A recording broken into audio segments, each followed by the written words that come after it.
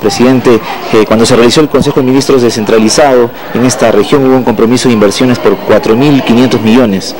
Actualmente, ¿cómo va estos compromisos asumidos? Bueno, eh, yo les traigo la buena noticia a Puno como región. Efectivamente, en Ayaviri, en el Consejo de Ministros descentralizado que hicimos eh, en Ayaviri, comprometimos eh, inversiones por un monto aproximado de 4.500 millones de soles. Hoy día, con todo lo que se está haciendo, estamos ya eh, superando los 7 mil millones de soles. En infraestructura vial hemos eh, aumentado 1.500 millones de soles. Estamos eh, reparando carreteras que se hicieron en gestiones anteriores y que las tenemos que dejar nuevamente bien. Estamos construyendo nuevas carreteras como la autopista de Juliaca Puno, Estamos invirtiendo en política social, solamente en programas sociales hemos invertido más de mil millones de soles en, la gestión de gobierno, en vivienda, saneamiento, también hemos invertido un monto similar. Eh, además de esto, eh, lo que estamos haciendo también nosotros es eh, fortalecer la política educativa a través del Colegio Alto Rendimiento, la recuperación de la jornada escolar de siete horas diarias. Estamos eh, impulsando el Programa Nacional de Becas, estamos eh, impulsando la construcción de infraestructura hospitalaria, estamos avanzando en lo que es eh, infraestructura de energía, electricidad. Además de eso, estamos impulsando, apoyando a los alcaldes para que pronto puedan iniciar las obras de la planta de tratamiento que requiere Puno. Son 10 plantas de tratamiento las que va... El proyecto en general involucra 10 plantas y fíjate, esta es una obra que yo, yo lo decía desde la época de era Ferias, en los 80, aquí en, Puno, en Juliaca, ya se hablaba Sí, bueno, hace un buen tiempo, ¿no? Ya se hablaba de la planta de tratamiento para Puno, inclusive hubo una cooperación alemana que puso plata, pero por problemas en que los alcaldes no, no podían unirse, cada uno quería hacer su proyecto de manera independiente, no funcionó. Y todos estos años hemos vivido con un puno con problemas en la planta de tratamiento de residuos sólidos, contaminación del lago Titicaca, con esta lenteja que ha, cubierto parte de la, superficie, de la superficie del lago y hoy estamos cambiando esta situación. Ha pasado más de 20 años pero yo creo que Puno merece desarrollo y eso es lo que estamos trayendo. ¿Cuánto se estima de inversión para poder descontaminar el lago Titicaca? Bueno, ahí tenemos una, autoridad binacional y estamos hablando de varios cientos de millones de soles para poder justamente descontaminar el lago. Además de eso, eh, hemos comprometido a la Marina Guerra del Perú a través del CIMA para la construcción de un, de un PIAS en el lago Titicaca que ya se está construyendo. Este programa de itinerante de acción social que estamos llevando en la Amazonía, también lo estamos llevando al lago Titicaca. Así que eh, vamos a seguir avanzando en darle desarrollo a los pueblos ribereños al lago Titicaca esta buena noticia que ha dado usted hace unos minutos en la provincia de Puna, en el distrito de Puna, en el centro del poblado Salcedo, el incremento de la remuneración mínima vital es, ha sido esperado ya varios meses. ¿Qué ha motivado esta decisión suya?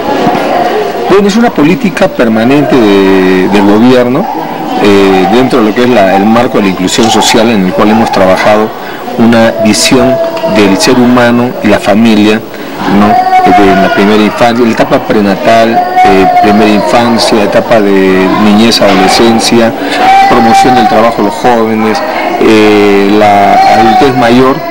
En, la etapa de promoción del trabajo hemos impulsado eh, el programa Trabaja Perú, Jóvenes a la Obra, etcétera, pero también hemos ido observando la, manera de que a mayor crecimiento el crecimiento también involucre una, mejor distribución del crecimiento.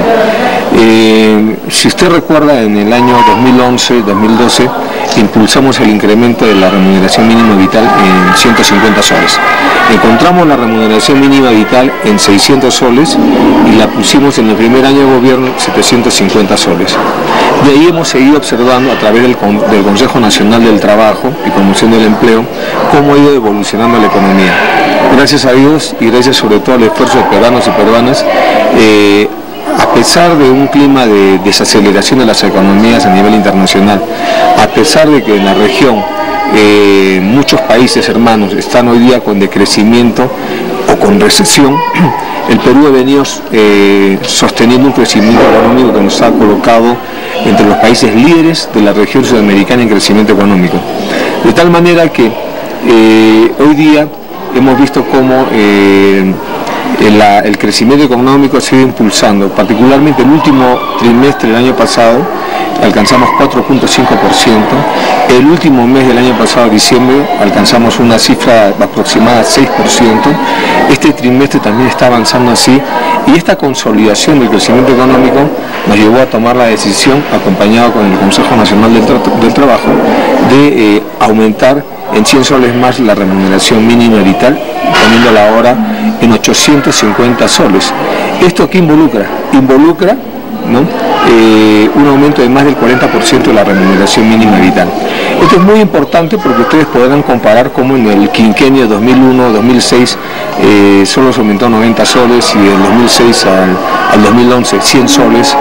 Este es un salto sin precedentes, pero que va a redundar en mejorar la economía de más de 650 mil trabajadores a nivel nacional y por ende las familias que van a tener más plata en el bolsillo.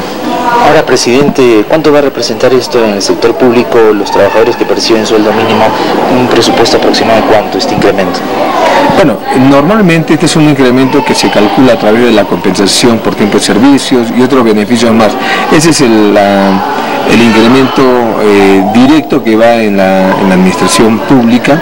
Eh, lo otro es un impulso a que los trabajadores eh, sean, aumenten su productividad de tal manera que podamos en el futuro también ir, dando pasos prudentes, responsables en que si hay un crecimiento económico debe beneficiar a todos. Declaración.